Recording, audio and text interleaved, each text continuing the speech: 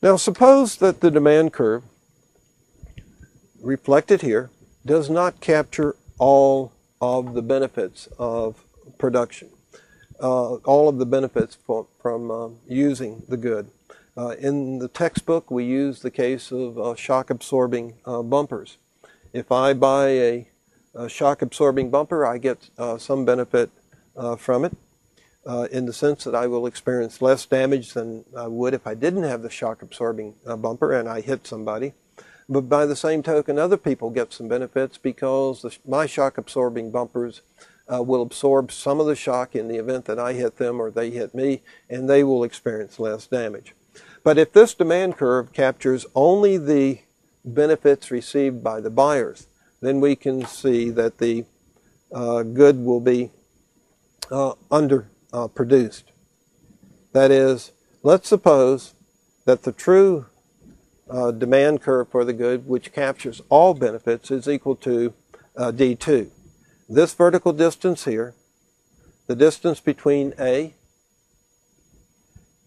and B, uh, represents the value to people who are not actually buying uh, the bumpers. When I go to buy my bumpers, uh, I consider my value, which is B uh, I can't consider the value to other people. At least I cannot charge them for it. And as a consequence, uh, my demand uh, for the good uh, can be understated simply because I cannot charge others for the benefits that they receive from what I, I do.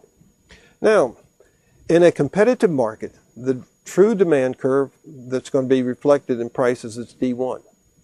The true demand curve reflecting all benefits is going to be uh, D2. The supply curve, assuming no external costs, will be S1.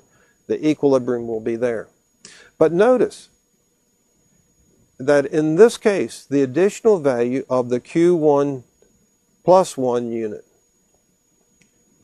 Q1 uh, plus 1, the additional value is really there. The additional cost of producing that unit is there. We're missing out on additional value equal to this. The same is true for this additional unit, this additional unit, this one, this one, this one, all the way up to there. So the market should in fact be producing uh, Q2, uh, whereas in fact it is producing uh, Q1. Uh, and there is an inefficiency in the market equal to, to this triangular area uh, uh, here, this striped triangular area.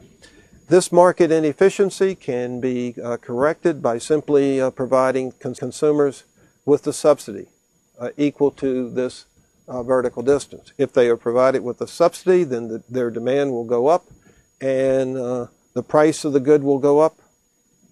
Uh, but more importantly, you will capture all of these additional benefits in that triangular area.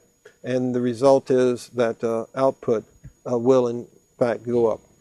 One of the arguments for um, uh, pollution control uh, methods uh, is that there are external costs associated and that the producers should in fact uh, be forced to bear uh, those costs. For that matter, consumers should be forced to bear the cost. One of the arguments for um, uh, subsidizing education is that there are supposedly external costs associated with education.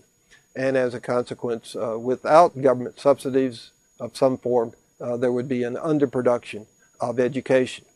Uh, thank you very much.